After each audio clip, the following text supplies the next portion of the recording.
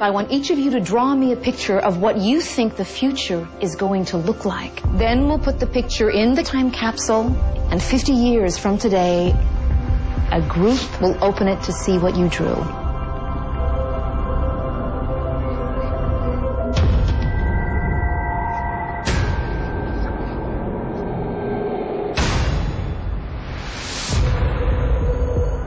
What are you doing with this? You weren't supposed to bring this home. It belongs to the school. But maybe it means something.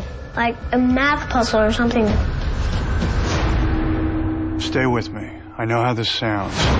But I've matched these numbers to the dates of every major global disaster for the last 50 years in perfect sequence.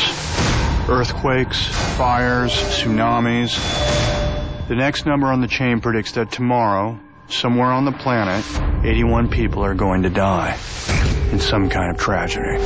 Oh, just step back. Have another look at it. Systems that find meaning in numbers are a dime a dozen. Why? Because people see what they want to see.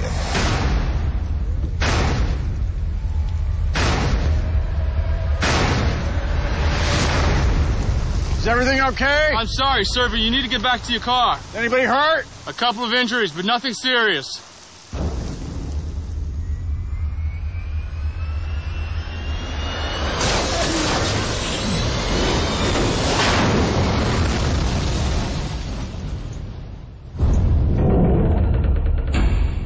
The numbers are a warning.